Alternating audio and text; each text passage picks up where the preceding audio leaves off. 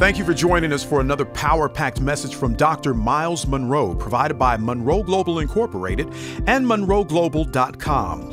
We transform followers into leaders and leaders into agents of change. We hope that this message is a blessing to you as you advance your life and discover your purpose. Now, let's go into the message. But I want to speak on the subject. We can continuing on the beginning of our series the king, the keys, and the kingdom. This is a series that will last until 2006. So you might as well get used to the kingdom. We're going to go through understanding the three most important components in the entire plan of God for man. The three most important components that you need to know about is the king, we must know about the king, we must know about the kingdom, and we must know about the keys of the kingdom. And I want to deal with this morning on the subject focusing on the kingdom principle of keys. The kingdom principle of keys. This is session number two. Last week we introduced the series. Today we are going to begin focusing on the kingdom. We're going to talk about the principle of keys in the kingdom of God. Let us really, as a subtitle, focus on understanding the kingdom and the keys that make it work. Understanding the kingdom and the keys that make it work. First, let's talk a little bit about rediscovering the good news. Jesus came to earth with only one message. One message. He did not preach on healing. He did not preach on deliverance. His message was really not about miracles. He did not preach on religion. He did not preach about born again. That was not his message. His message was a simple message. I'm going to show you from your own Bible today some references to that message that he himself declared. First of all, I want you to write these principles down. Number one, the purpose for man's creation was to administrate a kingdom. That is what God created man for. Man was not created to make a religion or even to be in one. Man was created to administrate a kingdom. Principle number two the fall of man was the loss of a kingdom. When Adam fell, he did not lose heaven. He was never given heaven. He lost a kingdom. Third principle to write down the purpose of redemption was to restore a kingdom. If God sent his Christ to restore something, it must be what we lost. So you can tell what Adam lost by what Jesus came to restore. Solutions always give indications of the problem. It's a paradox. You can tell what a problem is by what the solution is. So, whatever Jesus came to earth to bring as a solution, that must have been the problem. So, Adam was not restored to heaven, a kingdom was restored to Adam. Number four principle the fulfillment of God's will is the reestablishment of his kingdom on earth. God's will will be fulfilled when his kingdom was to be established on earth. That is God's plan after Adam fell. God had one goal, and that was to reestablish his kingdom of heaven on earth. And the final principle I want you to make a note of in your notes is that the program of salvation was to restore man to the kingdom government of God. And please write both words together. To restore man to the kingdom government of God. So, whatever God brought to earth, it had to be a government because that's what man lost. Today, I have come to the conclusion that the greatest news in the world is the news that Jesus brought to earth. And by the way, the word good news in the Greek language is the word evangelium. And that word in the Greek New Testament is the word we translate as gospel good news. Why is the promise of a government good news? The answer? Because no government on earth right now is working. None. The Chinese cannot stop SARS. The Afghan government is still unstable and they're killing soldiers every day. They tried to correct Iraq, but now American soldiers are being killed every day at the checkpoints. And there's still no order in the country. America, who is presumably possessing the best government in the world, has the highest crime rate in the world. Marriages are being dissolved in America more than in any other country in the world. Divorce is one to one. For every two get married, one get divorced. More babies are killed in America than are born in the Caribbean every year. 500,000 are killed in the womb. That's the greatest government of all time. The murder capital of America is Washington, D.C the capital of the greatest country in the world is the highest crime rate Uh, for murder, a homicide in the whole country. In other words, is that government working? And then we shift on down to Africa and we get depressed. Which government in Africa is working?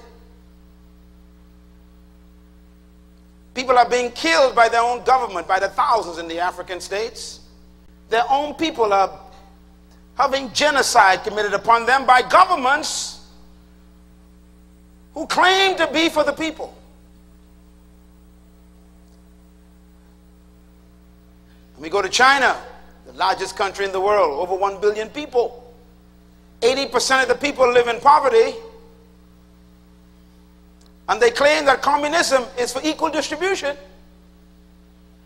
But yet, only the rich enjoy the benefits of the communist state. Where can we find a government that works? That's why Jesus brought a government. Secondly, I'm glad he didn't bring a religion. No religion is working.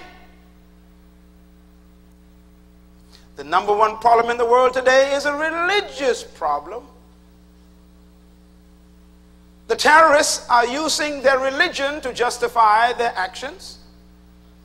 Islam is bent on destroying every infidel, which means anyone who's not a Muslim is an infidel. If you're an infidel, they either tolerate you, make you a slave, or they destroy you.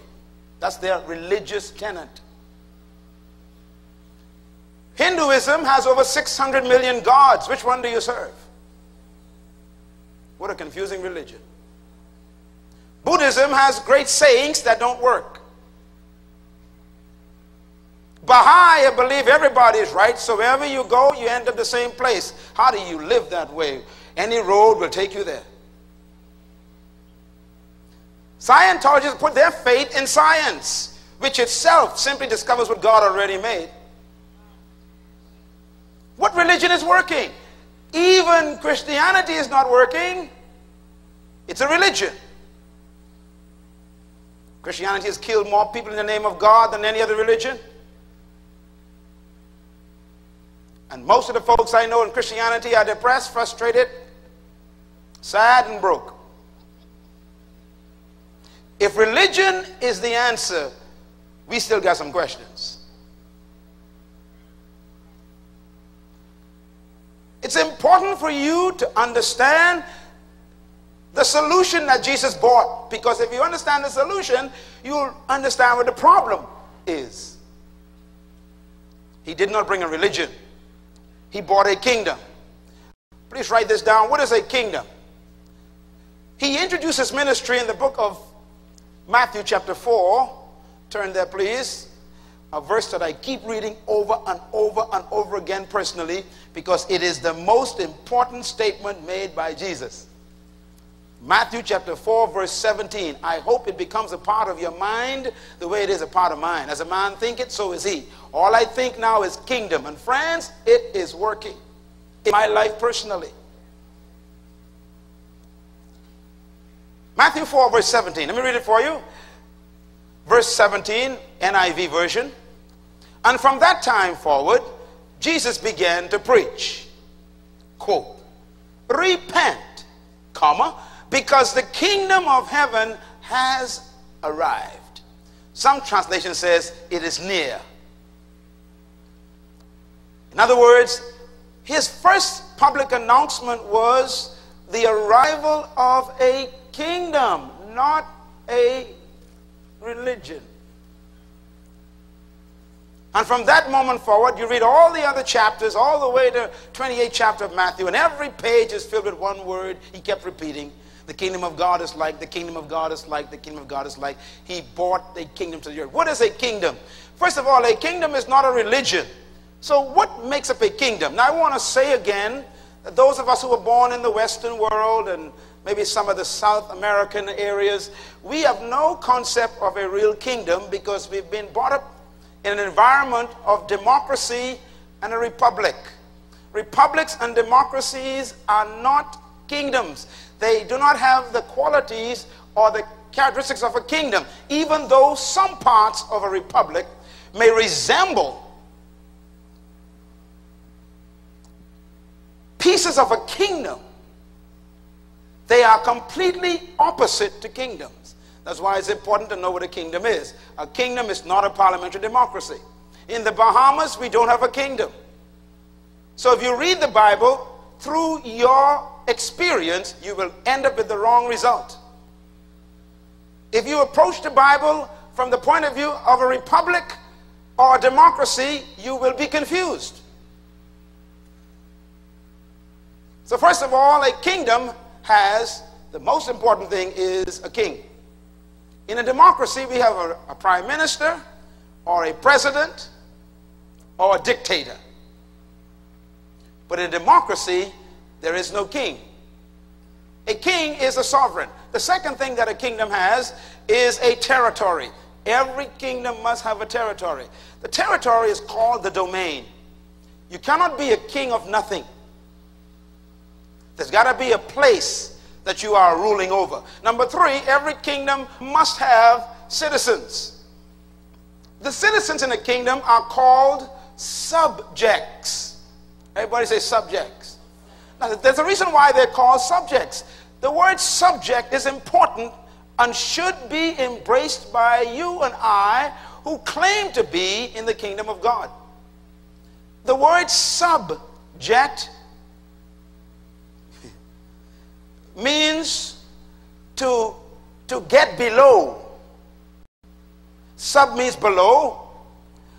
Subject means a citizen of a kingdom is completely under the king. And they stay under for an important reason. We're going to learn through this series why it's important to stay below the king. The third, fourth thing that a kingdom has, rather, is a constitution. Every kingdom has a constitution. What is a constitution? The constitution is a covenant between the king and his subjects. And I want to stress that that constitution is not written by the subjects, it is written by the king. The king determines the covenant or the constitution that the people live by. In a democracy, the people write the constitution. In a kingdom, the king writes it. In a constitution, in a democracy, the laws are created by the people. In a kingdom, the law is created by the king. Matter of fact, the king's word becomes law. Completely opposite. The fifth thing that a kingdom has is laws. These laws are called principles by which the kingdom functions.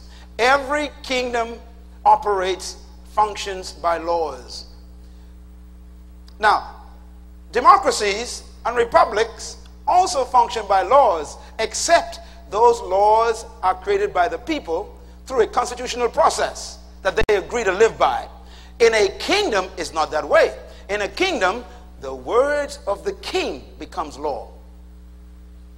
So the people don't create the law in a kingdom. The king does. Number six, a kingdom has a government. Very important word, government. Write the word government down carefully. It has a ruling authority. Let me give you another word for government in your Bible. Write this word down, please. It's the word K O S M O S. Pronounce it for me. Say it loud for the camera people. A little bit louder. One more time. Shout it till the roof shake. Say it one more time. Say it two more times. Say it one more time. Now, when your pastor tells you to say something that many times, it means that it's important and you don't know what it means. The word cosmos is all through your Bible, New Testament. And it's used by Jesus, it's used by Paul, it's used by Peter, it's used by James, it's used by all the writers of the New Testament. And this word cosmos is the Greek word that is translated as, write this word down, world. World. And I'm giving you this for a reason because you see, when you think of the word government, you don't think of this word. The word government is the same word as cosmos. Cosmos is the word in your Bible for world. This word world means order of authority. Write it down. Order of authority. You remember, Paul, give you one example where it's used. Paul says in the 12th chapter of his writing to the church at Rome, in verse 2, he says, Be not conformed to this world. Stop reading. Now I want you to think about the meaning. There, Paul uses the word cosmos. When Paul says, be not conformed to this world, he ain't talking about going to the nightclub. He ain't talking about drinking alcohol and smoking cigarettes, all the stuff you're thinking about. No, he said, he used the word cosmos. Do not be conformed to this cosmos, but be ye transformed by the renewing of your mindset, your thinking. Why does he put the word cosmos in there? What does the word cosmos mean? World. The word world, cosmos, means governing authority, order of authority.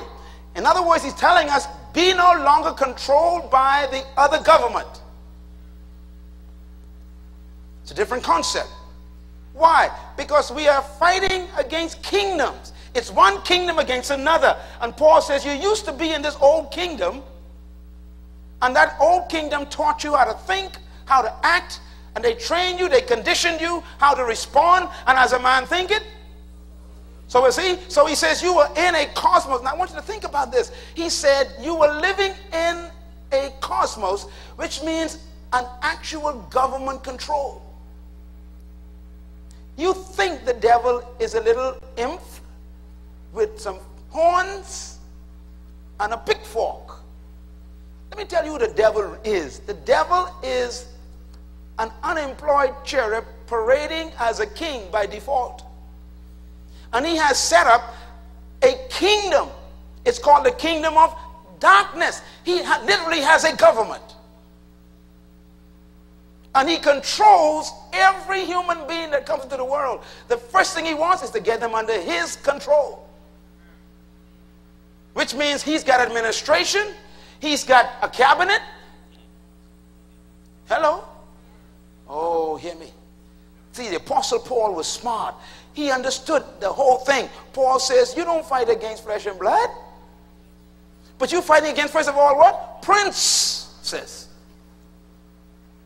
and wicked spirits where in high places he says and authorities in high places you are fighting against a whole machinery of government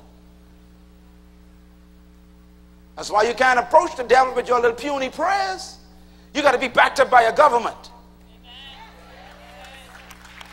you don't just stand before the devil talking about come out come out you better have a whole army behind you backing you up. A whole government power backing you up. That's why Jesus said, when you go to him, don't use your name.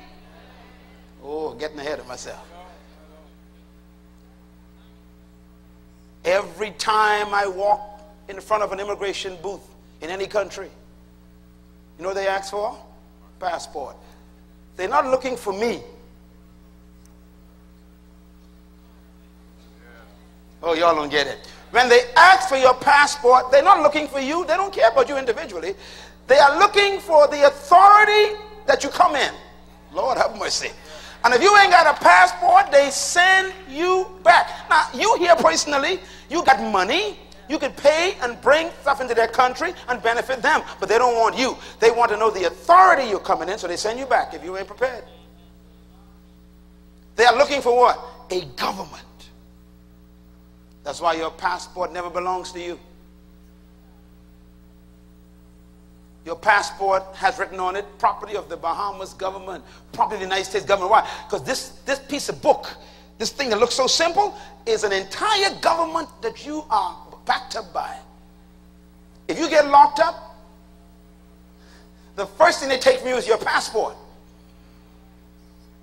Why? They take from you the support of your government because you don't qualify to live in the government society anymore. The hardest thing for you to get again is a passport.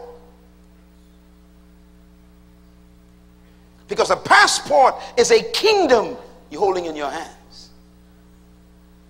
You come in the name of your government.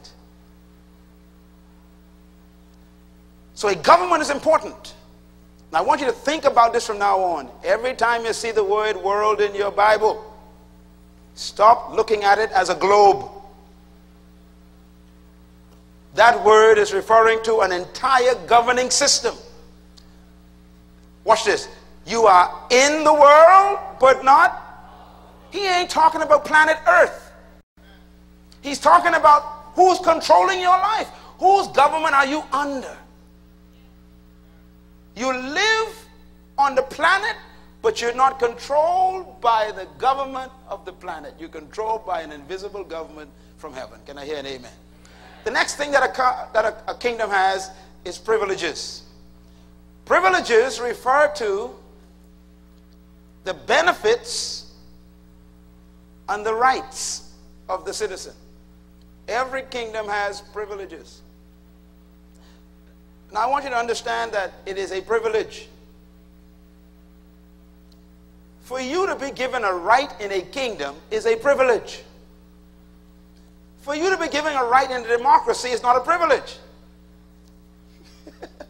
Once you become a citizen, the government has to do some things for you. That's in a democracy. In America, you can burn the flag and use the law to protect you. In America, you can kill a baby and use the law to protect you from murder. Why? Because as a citizen, their laws give you certain rights. But do you know that in the kingdom of God, every right that you are given is a privilege? That means you're lucky. Is that a good word? In other words, you don't stand before God say, now let me tell you something. Ever since you made me, you know, I, no, no, you don't come before God with that attitude. What, that, ah, yeah, yeah, yeah, yeah, yeah. Let me tell you, how, how are you saved? By what? Grace. You better shut your mouth and thank God you got saved. Everything is by grace in a kingdom. The king give you grace. He extends what they call in kingdoms favor. Everybody say favor. Let me tell you something. Nothing is more powerful than a king's favor. Write this down. The king's favor becomes a personal law. The king's favor becomes what? a personal law. This is too heavy for you today, I know. The Lord will help you to buy this tape and you will listen to this again. This is so powerful. Last night I had to tell God, turn it off. I sat in my office at home, two o'clock, and I said, Lord, stop. I said, God, I cannot teach this in my lifetime. They won't get it. I'll die. And they still won't get it. Because you see, it is so heavy and so simple that we keep missing it because we are hungry, sleepy, tired. I'm going to say this again. Listen to me, friends. Listen to it. The favor of God, don't miss this, is a personal law. Now, you don't understand what I mean. Let me explain. A king has decrees. A decree is all the king spoke that becomes written that you, the, the citizens obey. But favor is a unique thing. A king can give you a personal law that you live by. Oh, you ain't get it. In other words, when a king gives you favor, that's not in the books. That's something he decides to give you personally as a privilege, and the other uh, citizens might not get it. Oh, you don't understand. But for you, it becomes a law. It works for you all the time. Hallelujah. Oh, this is too heavy. You know, uh, if the prime minister of the Bahamas was to give anyone a personal favor, what do we call that? What do you call that? P- politically speaking, what, what, do you call that? Curry favor, curry, curry favor.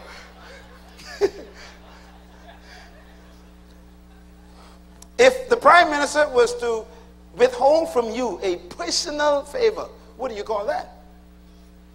Victimization. Okay. Therefore, the prime minister or the president of a country cannot actually give you personal favor that is against the law or outside the law. Whatever he gives you have to be in the law already. The king is different.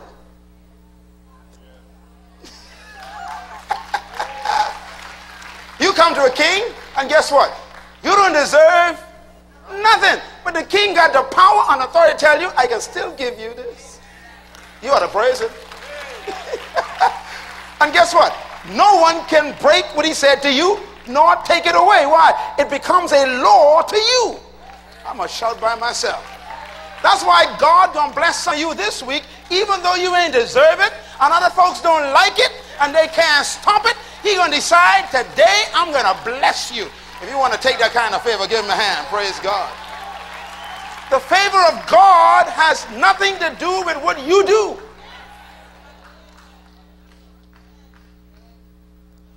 Hallelujah. It's a private law.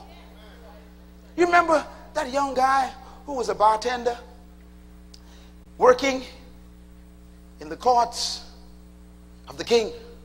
His name was Nehemiah. Just a worker. He wasn't a politician. He wasn't a secretary in government. He wasn't a member of the cabinet. He was a servant, a slave in the courts. But the king one day, Lord have mercy, turned to the guy and says, Why are you so depressed? You don't serve my drinks with a smile anymore. And the young man said, my country is in shambles. The walls are broken down. My people are scattered. I am depressed because my country is in deplorable condition. And the king says, Watch this. What do you want? Ladies and gentlemen, all you want God to ask you once. Come on, somebody. Because once the king talks, he's about to make a law that's only for you. Come on, somebody. That's the difference, you see. The king creates laws by his mouth. And even though in that court there were famous generals, powerful politicians, secretaries, all kinds of members of, of the courts, of the government, that young slave boy was given some favor that the king said, Go, do what's in your heart, I will give you letters. Man, this is powerful favor. I'm going to give you a letter that's going to give you clearance through every province. You can get all the money you want, the trees you want for lumber, all the nails, all the equipment from the king's warehouse. Go to my cedar forest, cut all the wood you want. Why? And if they ask you what you're doing, pull out the letter. Y'all better understand. Tell somebody, I'm going to get blessed this week, and no one can stop me. Clap your hands and shout for one second. The favor of the king. Oh, hallelujah. I tell you, you see, you think you got to buy everything that belongs to you.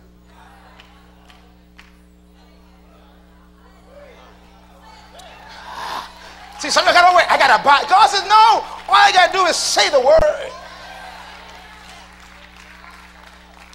God could talk to somebody to give you something that other people worked a thousand years for. He can give it to you in one day. The favor of the king is a personal law. It's a privilege to be under a king. Some of y'all mad because people got promoted over you. Because someone in authority liked them better than you. And they ain't qualify you know they ain't quite you know prepared for that job. But because of some kind of relationship they got ahead of you well i come to you in the name of another king to tell you promotion doesn't come from the east nor the west nor the north nor the south. But this time promotion is coming from the lord and whom the lord promotes no man can demote in the name of the king god promotes You've been passed over, walked on. You've been ignored for the last 10 years. But I'm telling you, if you get this message and lift your hand and say, Lord, I'm under your favor, God will defy the authority, confuse the kings of the earth, and they'll promote you and can't explain why, and give you more money and can't explain how. You got to give God thanks. It's going to happen in your life. Oh, I know what I'm talking about. That's why God says it doesn't come from the east, it doesn't come from people. Now, in the world, you got to depend on people to promote you. But in the kingdom of God, just go to work on time, work hard. Don't cheat the man, don't steal his time, don't steal his products. Be there. Why? Because when promotion comes from above, no one will be able to speak evil of your good.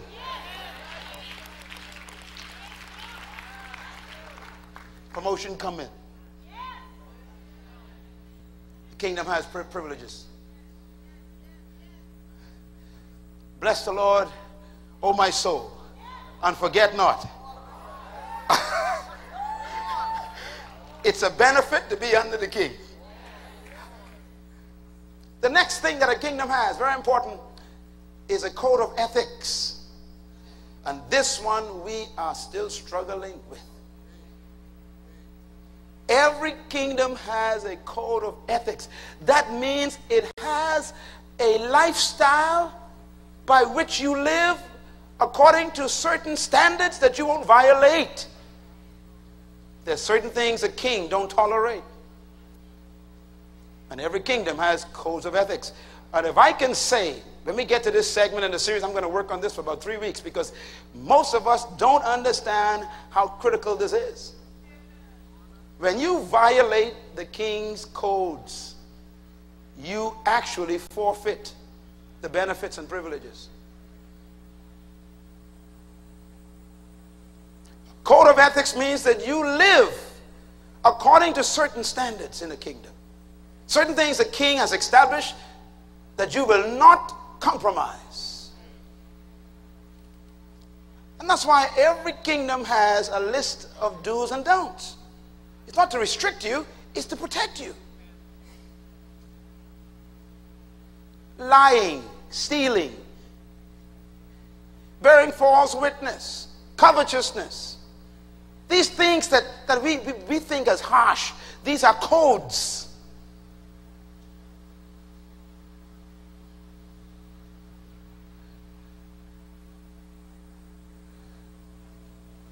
Jesus came to bring that. He came to bring a government. He came to bring a constitution. He came to restore the privileges. He came to reclaim a citizenry. He claimed to reestablish a lifestyle and a culture from heaven on earth. That's what he came to do. He didn't come to bring a religion. Let's read what he says here. Isaiah 9, verse 6 and 7. It says, For unto us a child will be born. This is the past tense now. Unto us a son shall be given, and the government shall be upon his shoulders. He's coming with a government on his shoulders to deliver it to the human race. And his name will be called Wonderful Counselor, Mighty God, Everlasting Father, Prince of Peace. Verse 7 says, Of the increase of his government and peace, there will be no end. He will reign. He will not be in a religion as some potentate, but he will come as a king and he will reign. He will reign on David's throne and over his kingdom, establishing it, upholding it with justice and righteousness from that time on until how long? That means once the Messiah comes and he brings that government, it's going to be forever. Guess what? He came. Which means the kingdom is here. And it ain't leaving. Praise God. It's not coming, it's here. I had a, a question the Holy Ghost asked me last night. And you can tell when the Lord asks you a question because he keeps repeating it until you respond. He asked me a question last night. I had to write it down. It's such a simple question. The question was if the kingdom is here, why are you not benefiting from it? I know God cannot lie, and the kingdom is here, according to Jesus. So the question is, why are we not benefiting from it? And he asked it till I got an answer. I got the answer. I'll tell it next week. So don't miss the session. Jesus still speaking about the kingdom. Look at this now. He's fulfilling his call. Luke 4, verse 42. But he said, Jesus speaking, I must preach the good news of the kingdom of God to the other towns also. Why? Because that is why I was sent. Luke 17, verse 20. Once having been asked by the Pharisees when the kingdom of God would come, he replied, The kingdom of God does not come with your careful observation, nor will people say, Here it is or there it is. Because the kingdom of God is within you. He said, The kingdom is here. The government of God is already present and is ruling you from the inside.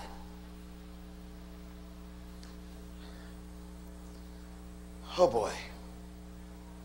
Oh, I need two more lifetimes. Okay, let me try this pattern. Look at You were never created by God to be ruled by an external government. That's a mouthful. If God's kingdom was affecting the Bahamas, there'll be no one in jail today.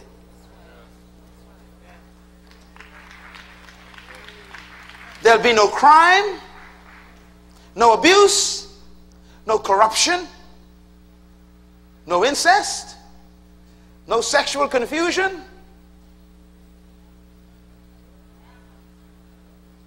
God never wanted you and I to be ruled from the outside.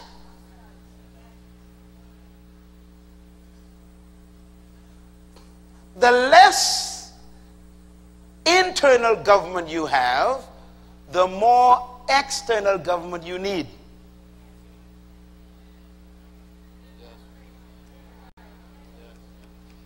Please buy this tape.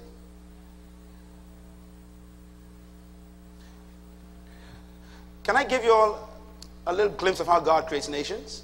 Let me give it to you. God goes to Africa and he picks up slaves who ain't got nothing. He brings them out and puts them in the desert. He said, Okay, I'm going to start over. I'm going to create a nation out of you people who are at the bottom. You ain't got nothing. You are slaves. You ain't got no identity. You ain't got no credibility. You ain't got no money. You ain't got nothing. He starts with them. He says, Now, first, I'm going to give you a code the Ten Commandments. Then I'm going to give you a constitution. That's all the laws that I spoke out of my mouth through Moses to give you.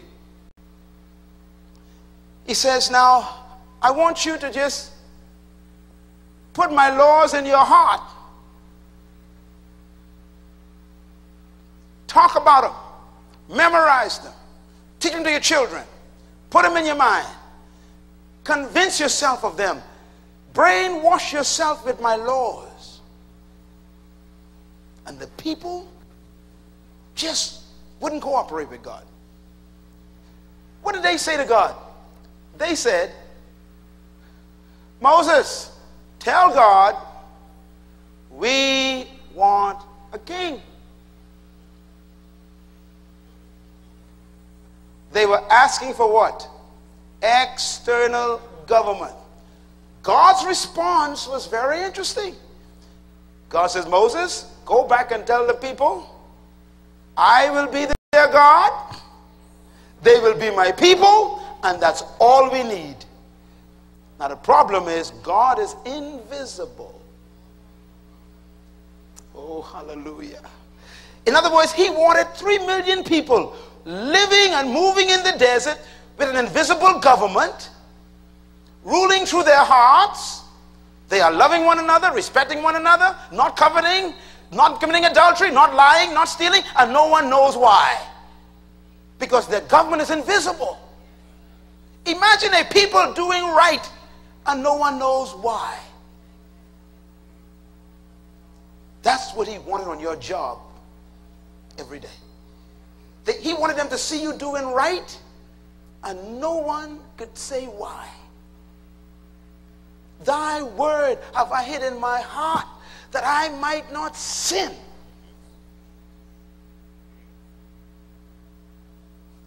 God never wanted you to put on your lapel, I love Jesus. On your car, whank if you know Jesus. He didn't want no labels anywhere. He wanted them to see a lifestyle and a culture that was so different from theirs. They'll say, What's making you live like this? And your answer will be, My kingdom is not of this world.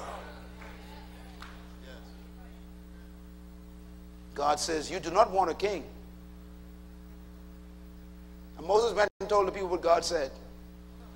Moses The Lord God says, You do not want a, you do not want a king.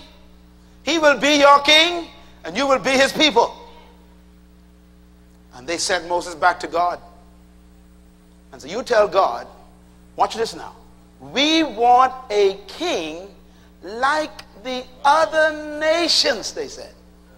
Isn't that amazing? We could see theirs ain't working.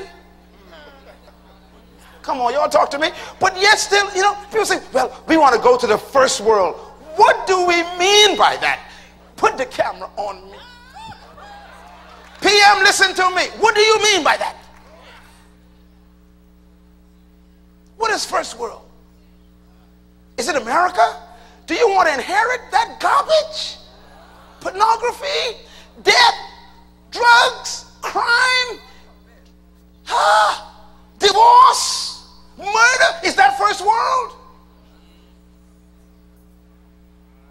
You see, we, we still haven't learned the lesson. We still want a king like the other nations.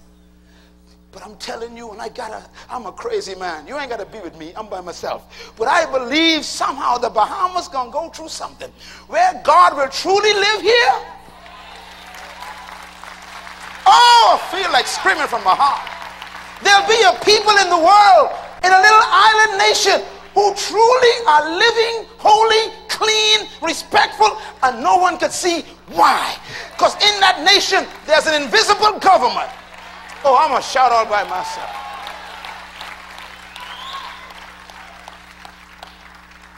I believe there will be a citizenship in a country where when the politician tells you to do something wrong, you will say, Sir, long live Mr. MP, but I cannot do that. Why?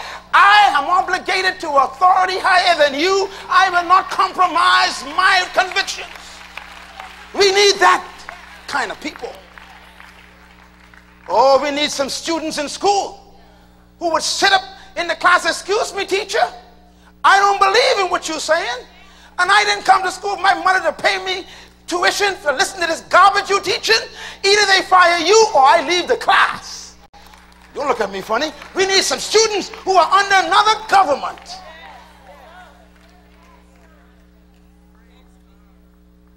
They got teachers teaching that two boys are okay together in your school.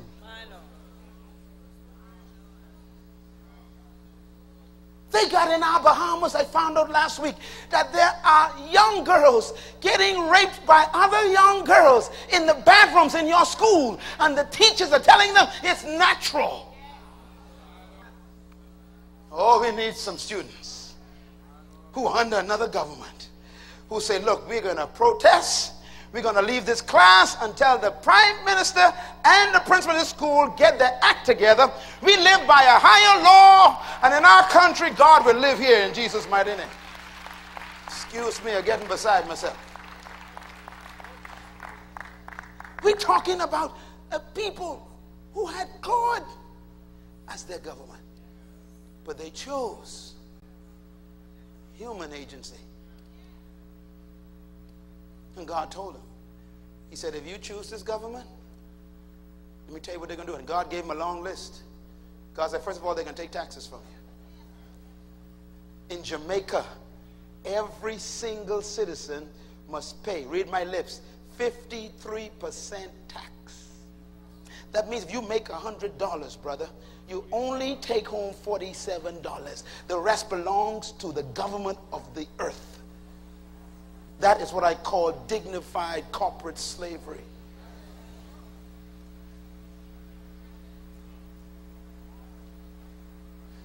In California, to live in California, the tax is 43% of everything you earn goes to the state government.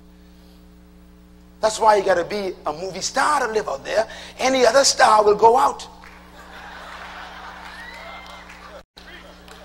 That's not, that's not life, that's slavery. And yet in my kingdom, let me stand up here to talk about my kingdom. My kingdom government established 10% from 6,000 years ago, and it is still, I'm on a shout out by myself.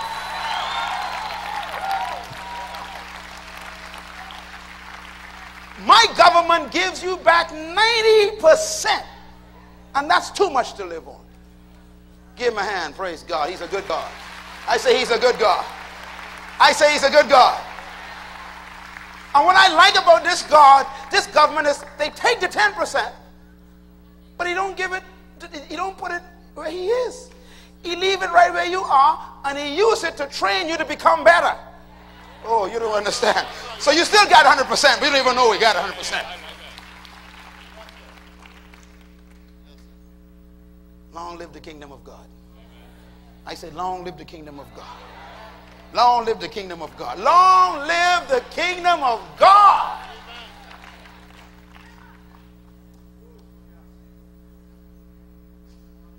Jesus was teasing them one day. They came to him and they said, Should we pay taxes to Caesar? Jesus says, Ah, good question. Let's talk about money.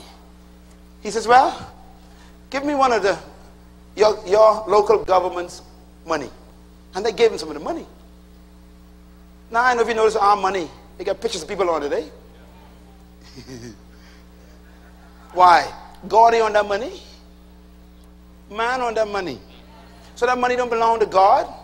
It belongs to, to the man. So Christ says, okay, whose image is on this? They said, Caesar. He said, right. True.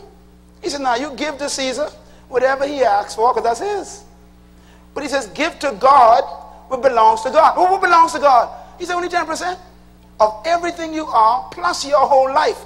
Because the image of God is what you're made in. Therefore, you belong to God, and 10% of everything He gave you belong to Him, and the 10% He gives it back to you for development.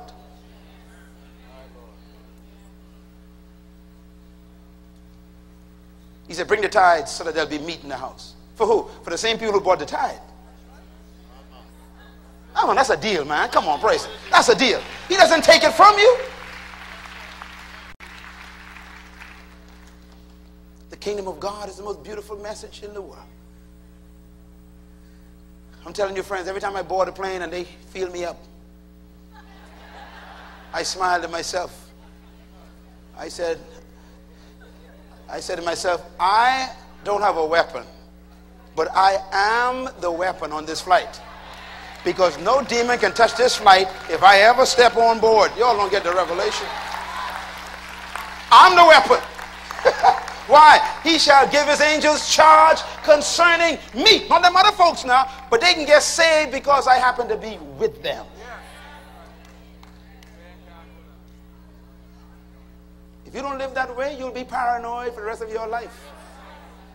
You better get into the kingdom. Why? Ain't no safety anywhere else. Let me tell you something. Yeah, they can blow up anywhere. But if you are walking in the kingdom authority, under the kingdom government jurisdiction, you are safe. He says a thousand shall fall at your right and ten thousand will fall at your left, but it won't come near.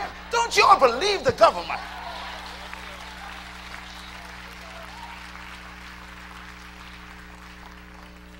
Some of y'all need to clean up for your business right now. Claim up for your business, brother. Lift your hands and claim for your business. Say, Lord, they may fail on my left, they may go bankrupt on my right, but me, it shall not come near me. I'm going to prosper. You're going to put me in the black. Praise God. No more red lines at the bottom there. Hallelujah. Kingdom of God. Oh, eight minutes. All right. Listen. Now, I want you to, to write this down. John 18. Tell your neighbor, Pastor preaching today. No, wait till 2004 and they can start preaching. And get down to the good stuff. See, the kingdom of God is amazing. Jesus said, My kingdom is not of this world. What's kingdom? A government with a constitution, with citizens, with laws, with all kinds of privileges and a code of ethics. He says, I'm bringing you a whole government, an authority, and it's not from this world. He says, if it were, my servants would fight to prevent my arrest by the Jews. But now my kingdom is from where? Another place. And that's the way you're not supposed to live. So Pilate says, So you are a king, huh? Jesus answered, You are right. Now watch this. You are right in saying that I am a king. In fact, wait a minute, Jesus, I thought you came to die on the cross and shed blood. He said, No. He says, In fact, the reason why I came is really not Calvary, you know. Read it. He said, The reason why I came, in fact, and the reason why I was even born was for this cause that I have come into the world to testify to the truth. Everyone on the side of truth listens to me. Are you a king? He said, That's the reason why I was born. Are you a king? He said, That's the reason why I came. I came because of king and kingdom.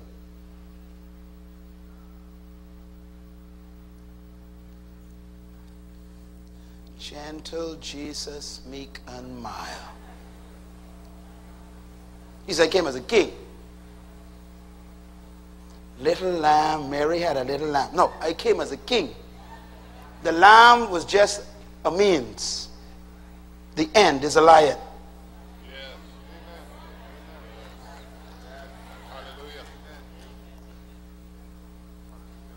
We will not take him off the cross. Why don't we take this man off the cross? That's why we got a crown. Someone says, Well, Pastor Myles, I just love your ministry, but y'all ain't got no cross in your building. I say, we don't celebrate capital punishment. Y'all missed it. We celebrate what? Reigning on a throne. He is high and lifted up, and his train fills the temple. Tell your neighbor, remember, but don't live there. Remember the cross. We thank God for the cross. Don't live around that cross. We are seated with Christ around the cross. That's what the Bible says. The Bible says we are seated with Christ how? In heavenly places. And we are what? Reigning with him in life. You become what you keep seeing.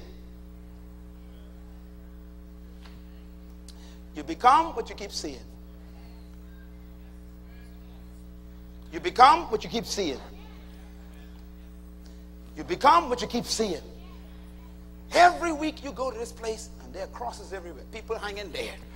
Oh, everybody dead. Everything you see, dead people, dead. I mean, after 30 years, you begin to think, I'm dead too.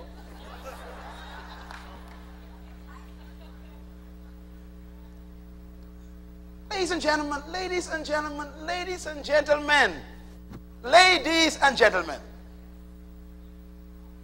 The 11 men that he left never went back to that spot. Never built anything there. Come on, y'all talk to me. Explain that to me.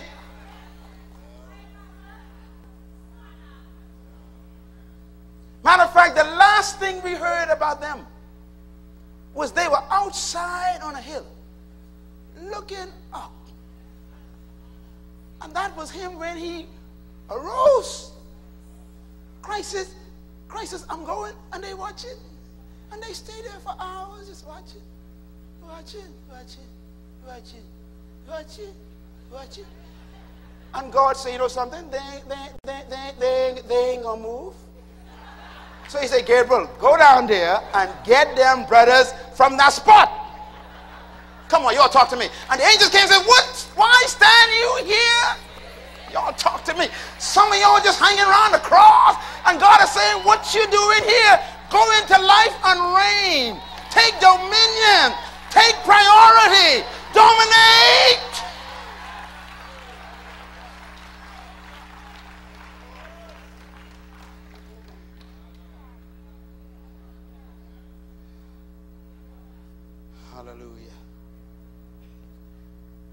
Say hallelujah. I told you last week, Jesus won the war. Now we got to win the peace. That's what Bush doing?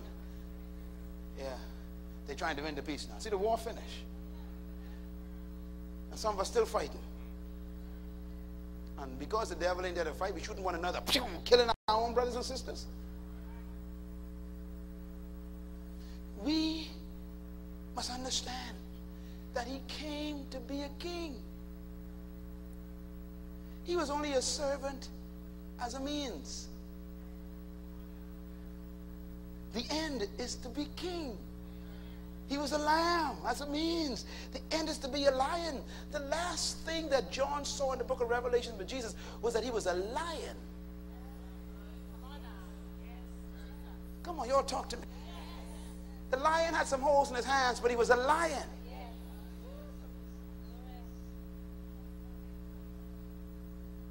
Our Lord ain't no sissy. He's bad out there, man. Don't fool with him. He'll growl and wipe you over his growl. Matter of fact, he's so awesome, his shout don't wake the dead up. Oh, y'all ain't ready. Let's put should have shout right there. I mean, he even ain't got to come get it. He's got to shout. And every dead in Christ. That's the power of our King. He's so awesome. He can break the power of the grave with a word. That's what you serve this week. Jesus came to restore man back to his kingdom. Look at Luke 4. I must preach the good news, he says, of the kingdom because that is why I came. Why did he come to earth? Luke 12. I want you to write this verse down. Do not be afraid, little flock, he says, for your Father has been pleased to give you the kingdom. Do not be afraid, little flock. The Father's pleasure is to give you the kingdom. God is only pleased when you get the kingdom, not when you get religion, when you get the kingdom. And it's so critical. The kingdom, therefore, is your future and your past. Matthew 25, I love it. It says, verse 34 Come, you who are blessed of my Father, take your inheritance, which is the kingdom prepared for you before the creation of the world. Another verse that blows my mind, Revelations 5:10. Oh, I love this one. Here's the end of your future.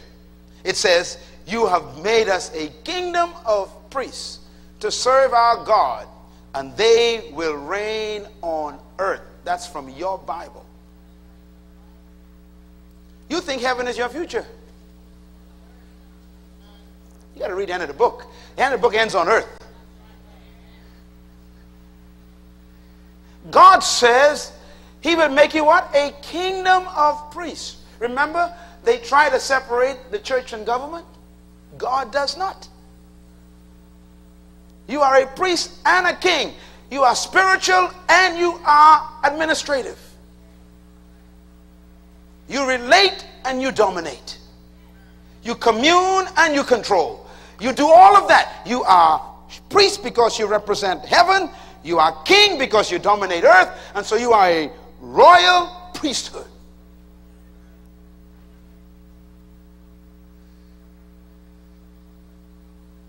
We keep dividing the body of Christ and separating it from government. And the body of Christ is government.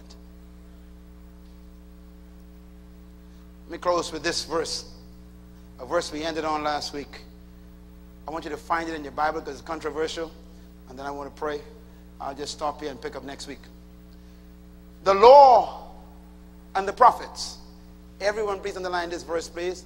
This is probably the most important verse you read in the Bible for the next 10 years. Jesus Christ is speaking. Jesus Christ is closing out one era and opening another one in this one verse. Jesus Christ is shutting down the Old Testament and opening the New Testament in this one verse. Luke 16, verse 16 and 17. Jesus said, quote, the law and the prophets were preached until John. Remember they preached? Until John. How long did they preach them? Until John. So all the laws in the Old Testament and the prophecies are preached until John. Since that time, I quote, the good news of the kingdom of God is being preached. He just shut down the Old Testament. Since that time, since John, there's a new message you go and preach. And that is the kingdom of God. And everyone is forcing his way into it, he says. Everyone's trying to find it. It is easier for heaven and earth to disappear than for the least stroke of a pen to drop out of the law. Now, what's he talking about? He says, everything that was prophesied is coming to pass now. And everything that they told you will happen when now comes is happening and is going to happen.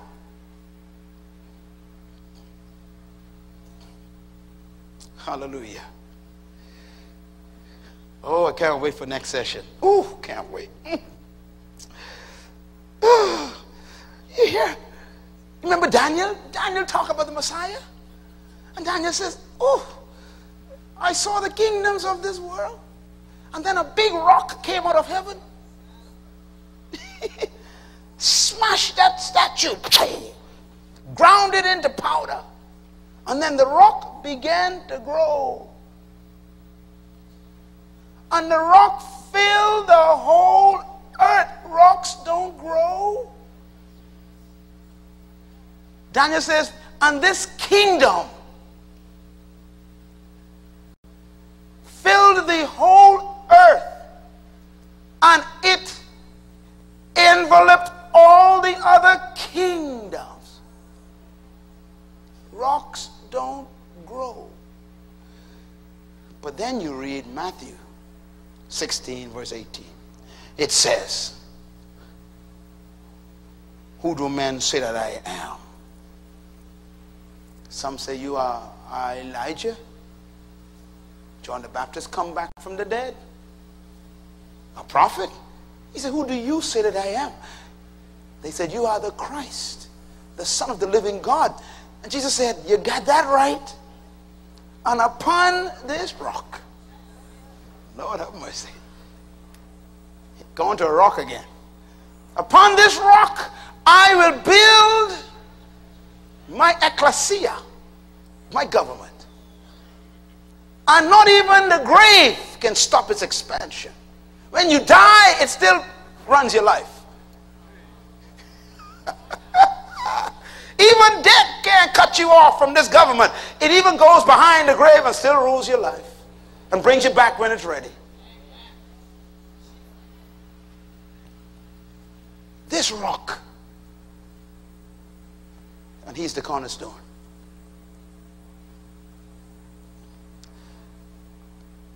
We were in Israel. We've been there many times. And many of you have seen the picture of Israel in photographs. And you normally saw this golden dome in the middle. You ever seen a golden dome? Yeah, that's the Al-Aqsa Mosque. It is a Muslim temple on the mount. Now listen carefully. We were allowed to go into that mosque went there twice. We took groups there to see. And when you go in there, they make you take your shoes off. And women got to cover themselves. It's a Muslim place. And, and you go inside this place, and it's their most holy site in the Middle East, there in Israel. Now, when we went in there, that mosque is built the way it's built, that golden dome. That golden dome is covering a mountain. There's a mountain. They call it the Temple Mount. It's a mountain. And that is the mountain where you'll find a big rock. The rock's still there. Now, the rock is massive. I think the rock must be about half of the size of this stage. A massive rock right on top of this hill, on top of the mountain. But you can't see it because it's in that building. And this rock has a flat surface on the top. And this is the same mountain, according to tradition, that Abraham went to to offer his son, Isaac. So he went to this mountain, and that's where he found the ram and everything. And this rock was supposed to be the main place where Isaac built the altar and put his son to kill his son. Remember that story? This is supposed to be that same mountain and that rock. That's Abraham's experience at that rock. It's the same mountain where Solomon built the temple that he built. The one that everyone talks about, it was right over that rock. Most important place in Jewish history is that mountain. The most important place to the Muslims in that area is that mountain because it's that mountain and that rock they claim that Muhammad left and went to heaven, spirit went to heaven from that mountain. I'm trying to get you to understand something. So the Jews got this rock as their most important rock. The Muslims got this rock as their most important rock. So here I was in a building with a rock. Outside, the Jews praying for this temple to collapse. Inside, the Muslims bowing and praying for the temple to stay. And me, I in the middle. And I'm standing there, and there are these Muslims reaching through the hole in the, in the little thing, and they just want to touch the rock, and they, they eating the dirt from it. It's so holy, and everybody, and you can't hardly reach it. It's just, just grill behind it, you know. And everybody just want to touch the rock, and they crying just to touch the rock. And you got the Jews outside, planning and hoping one day to build their temple back on the rock. And I stood there, and something happened to me. This all comes down to a rock.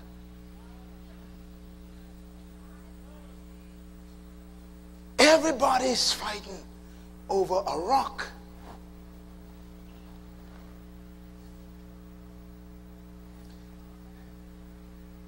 The Muslims travel thousands of miles to see the rock. The Jews travel thousands of miles to see the rock. And everybody's praying to the rock. And I heard the voice of Jesus in that temple.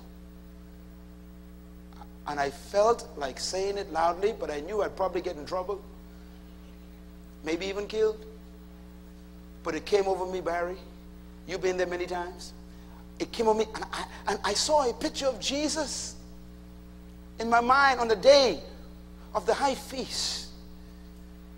All those people bowing down at this rock. And that picture of Jesus came upon me. And I saw Jesus when they were breaking the jugs of water. And the water was running all over the terrace, and the people were running, lapping up the water, the holy water from the priest. And Christ stood there and stopped the whole ceremony and said, Hold it! Moses gave you water in the desert, but you thirst again. Come unto me, all you who are thirsty, and I will give you drink that you'll never thirst again. That's what he did. Well, I felt like doing it that day in that temple. I felt like saying, Hold it! This is not the rock. You ain't got to come looking for the rock. The rock came looking for you. The rock is not in a place, it can come in your heart. The rock that we seek.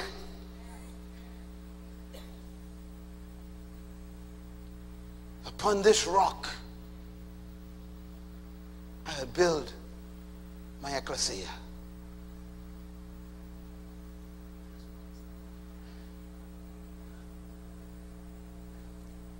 You don't have to face the east for God to hear you anymore. No, I'm getting closer by. We're getting ready to go now. You ain't got to bow seven times toward Mecca. You ain't got to go to a wall anymore, even though we appreciate the wall. You ain't got to go to the wall anymore and pray your prayers at the wall. It's a rock. There's a rock that grows. The rock is here.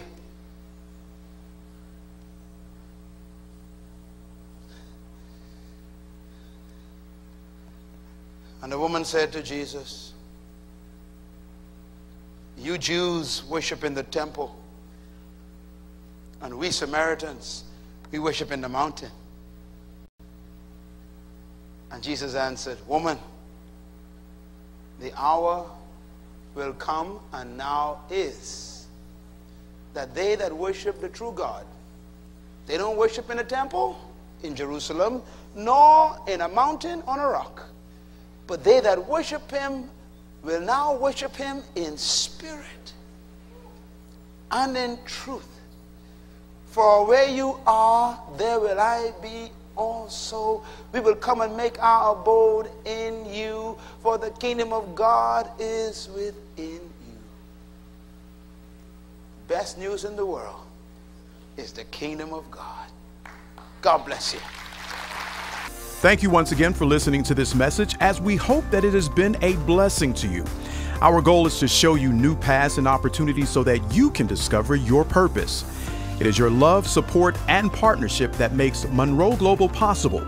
Please visit us online at www.munroeglobal.com for more product, partnership, or to join us at one of our live events around the world.